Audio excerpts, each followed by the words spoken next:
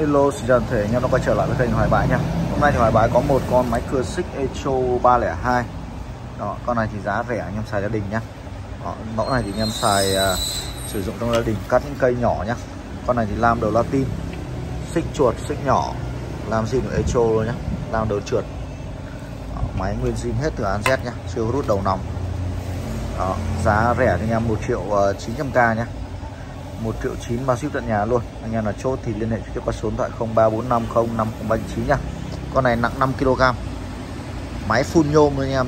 Đó, máy phun nhôm. Nhất uh, thải đổ đây xăng pha nhất đổ trên nhá. Đúng bài chỉnh nhớt này. công tắc đóng e. Đầy đủ hết.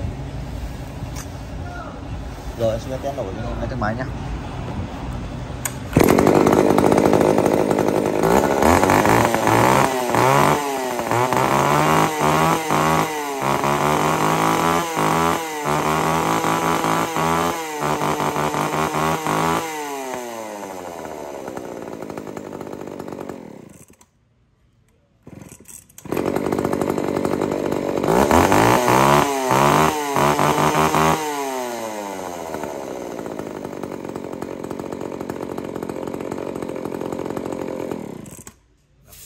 Chốt cây máy này thì liên hệ qua số điện thoại 03450509 giá chỉ 1 triệu 900k bao ship tận nhà cho anh em nhá.